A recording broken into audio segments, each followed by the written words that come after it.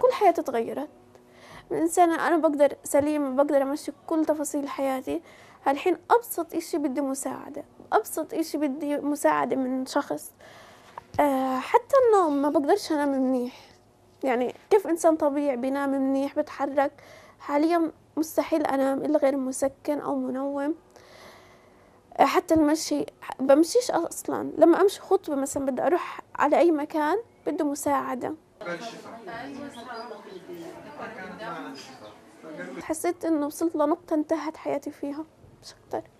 أنا حاليا بس بطلع إنه أطلع من غزة بسبب الإمكانيات الضعيفة جدا بسبب تدهور الوضع الصحي اللي موجود في غزة بس إنه بدي أطلع وأنقذ اللي, اللي ضايل مني بس.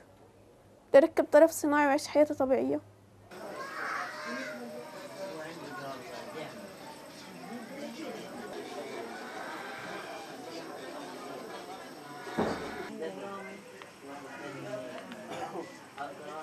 أسرت حياتي شلت حياتي شل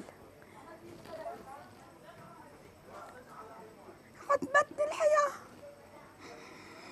عدمتني الحياة نفسي أمشي نفسي أقف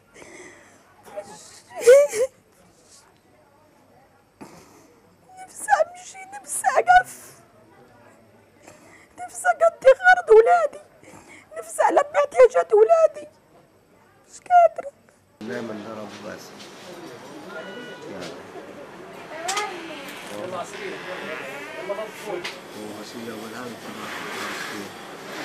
بعد ما تعرض له عمر من بتر في يده اليس- اليسرى لا يستطيع عمر ممارسة حياته بشكل طبيعي مما يسبب انعكاس نفسي عليه في المستقبل.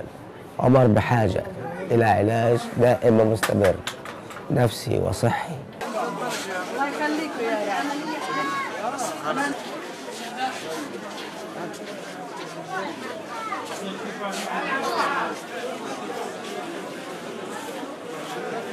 عايشنا إصابات معقدة لم نشهدها من من قبل أدت إلى بتر كثير من الأعضاء وخاصة النساء والأطفال. عشرات الحالات الموجودة في الأقسام الداخلية تم بتر أطرافها من خطورة الإصابة وهناك من تفاقمت المشكلة وتم بترها لعدم وجود الإمكانيات اللازمة وعدم الحصول على موعد عملية سريع. هذا فاقم المشكلة.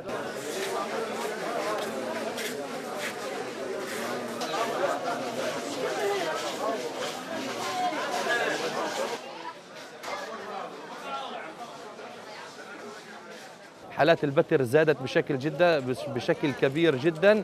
هذه الحالات البتر الموجودة في مستشفيات غزة وفي مختلف المناطق تحتاج إلى رعاية وتأهيل فيما بعد وهذا أيضا تحدي كبير لنا. متى سيتم تركيب طرف؟ متى سيمارس حياته الطبيعية فيما بعد؟ هذه أسئلة ما زالت مبهمة حتى اللحظة لنا في المنظومة الصحية.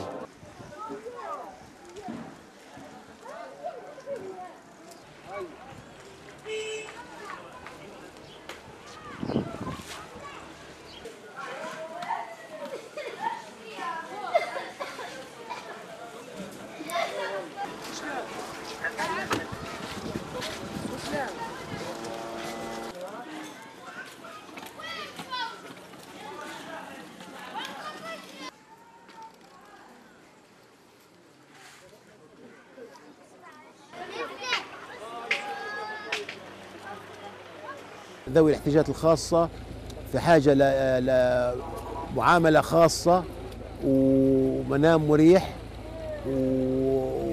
وإراحية في الحياة كما يجب.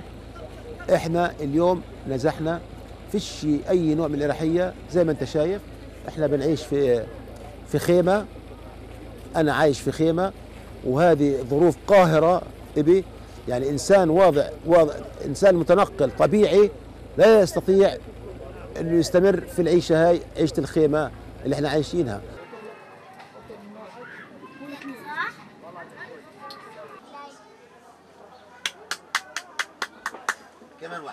ظروف صعبة أبعد ما تتخيل والأمر بالنسبة إلي المعاملة اللي بعانيها أضعاف أضعاف أضعاف من اللي بعانيها إنسان عادي.